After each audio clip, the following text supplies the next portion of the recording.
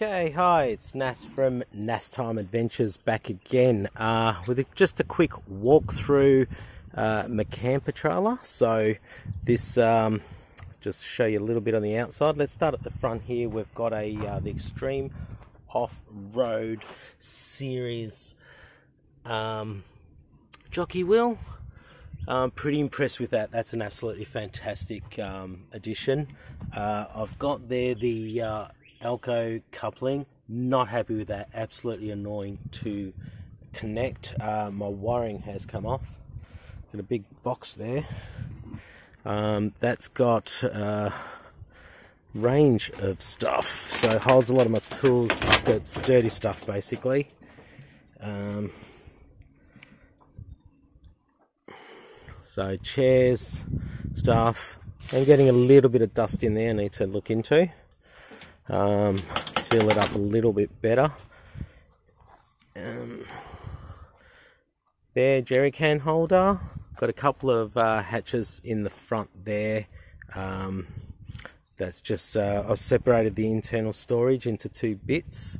Um, as you can see, a good storage space for my um, firewood up there, keeps it dry too. Uh, that's my rubbish bin, Got a little tap there.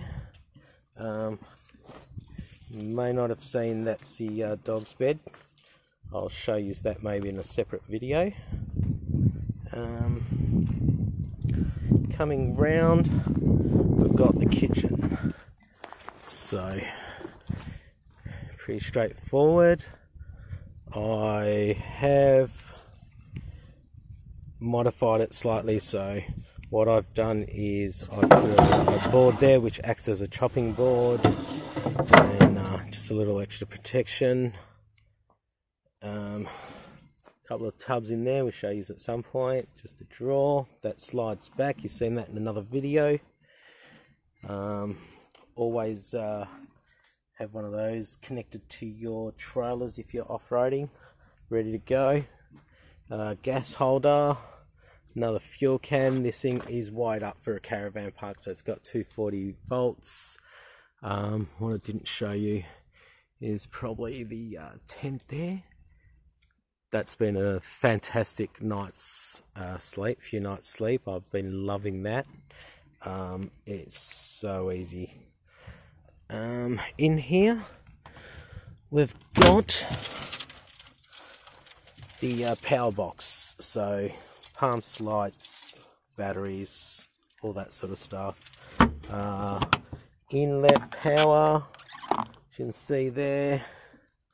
And uh, that's it. And you know if you're towing rock tamers see that in another video coming up soon if you haven't already seen it.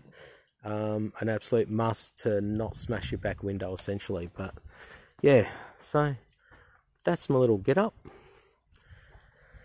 as you can see um, stick around, I'll have another video at some point uh, showing you a bit more detail, inside setup, um, awnings on the side and all that sort of stuff. So make sure you've got a good tow vehicle. And uh, that's it. Thank you very much. If you like it, um, hit the like, subscribe, you know what to do. Thank you. Chat soon.